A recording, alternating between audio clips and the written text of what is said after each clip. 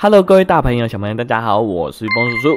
这部影片将会带你清楚了解对战时序。如果你喜欢这类型的影片，别忘记帮我点个喜欢哦。相信从炉石战记或是暗影四章来的玩家，在刚开始游玩符文大地传说的时候，会对于游戏中的时序有着很大的疑问，甚至有时候会觉得，哎，怎么自己的回合突然就被跳过了？如果你有这样的情况，接下来就不用担心了。我将会带你一步步了解对战过程的时序，而后让你们可以尽情游玩这款游戏。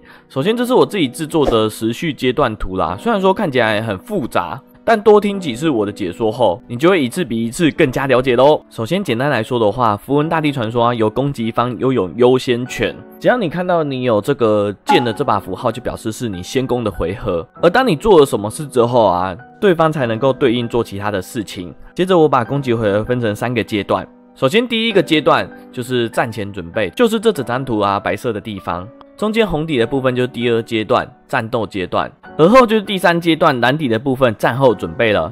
接着，我们就马上开始喽。首先，你的攻击回合的情况下，你这是攻击方啊，你可以选择四个动作，分别就是召唤手下、释放法术。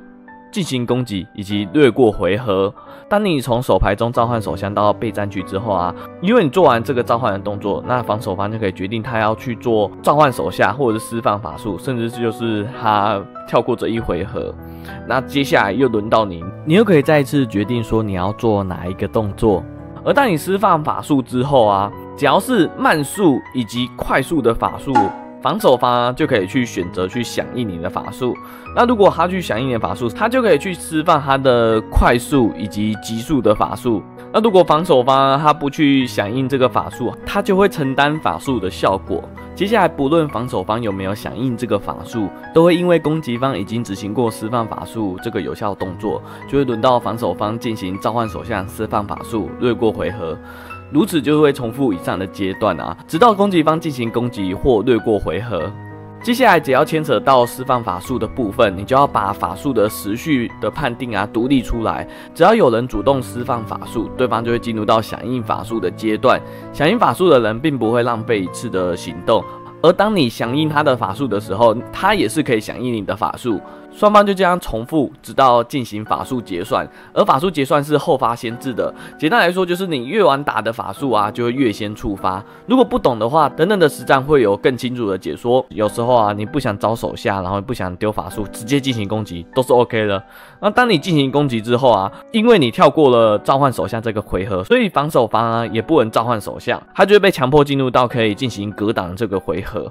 那他在进行格挡的时候啊，摆上相对应的手下之后啊，他就必须要决定，就是说释放法术要怎样去去选择。而当防守方点下略过格挡，他就不能进行其他的操作了。所以你一次就必须要把你的进行格挡以及释放法术给决定好。在攻击方来讲的话，如果防守方直接放弃掉这个格挡啊，你就不能额外去附加法术。所以说，有时候是攻击方也要在考虑一并去释放一些 buff 的法术。但我自己不建议就是在攻击的时候啊，去使用一些解场的法术。对方一样可以用等等会被你法术射掉的从者去格挡你的伤害。所以大多数来讲的话，如果你想要直接攻击打到主堡上的话，我会建议你在攻击之前啊，先去丢法术，就是在这个阶段先去丢，这样对方就少一个从者可以来挡你。如果你想要做优势交换的时候，我比较建议等到对方已经决定他格挡了从者之后啊，你就可以再释放法术。或者是直接对你的从者使用 buff 来做个优势交换。当做完这些战斗回合之后啊，就会直接进行战斗的结算，然后就跳至战后的准备了。那战后准备很简单，就是进行攻击以外啊都可以选择。那时序就会完全参照战前准备的阶段，等于说你可以先抢先攻击一波，等到战后准备的阶段再来召唤手下。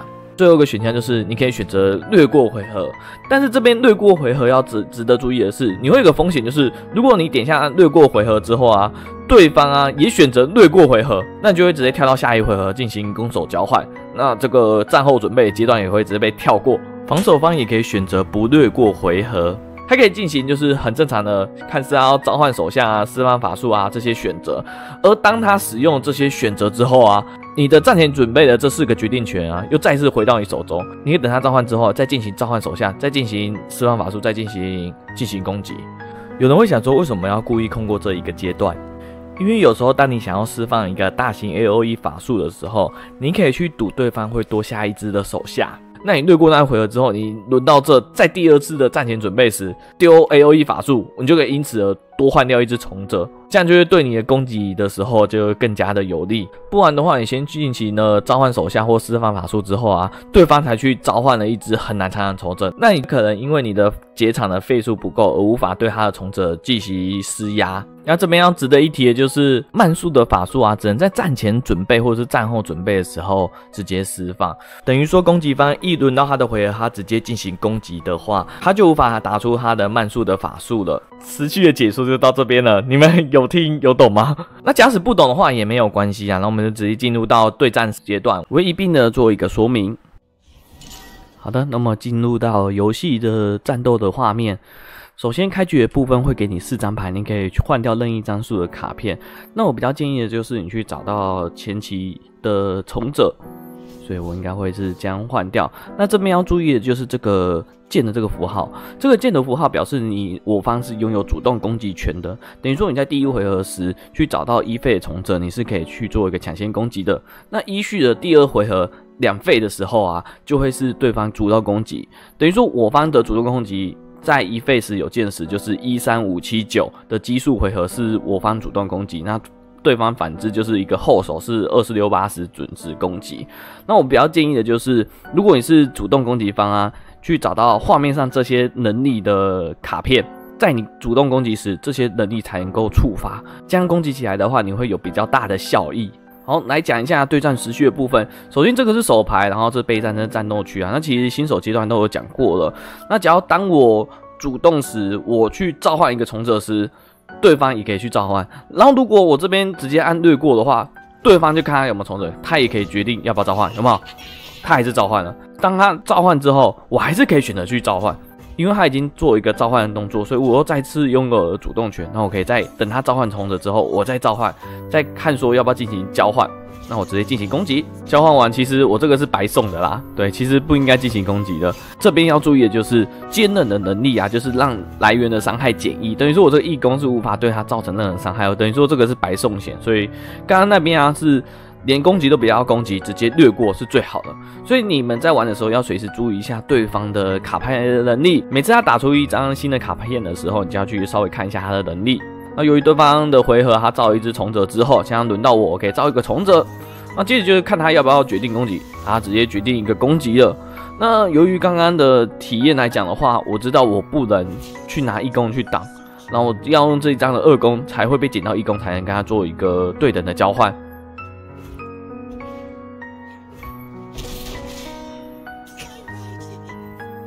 那接着这一回合来讲的话，由于我是主动攻击方嘛，就先打出劫，然后接着在攻击的时候会生出一张的疾风残影。那对方直接造了一只二次血的从者，如果他拿这一只直接挡我的劫，我的劫就算有快速攻击，可以先给他伤害，但是因为他会扛住这个伤害时，我劫还是会被换死。所以这边到底要不要攻击，你要自己去想一下。以正常的对局来讲的话，是不太建议攻击啊，就只派单只，因为这只被换掉之后，我下一回合劫还可以去做个输出。可是你要想的一点就是，如果你这一回合不攻击的话，对方的挑战者啊是可以直接把你的劫拖到场上，然后直接干掉了。最后想想还是全下好了，因为他拿他的门徒来挡之后啊，我至少那个疾风残影可以对他的主宝造成三点伤害。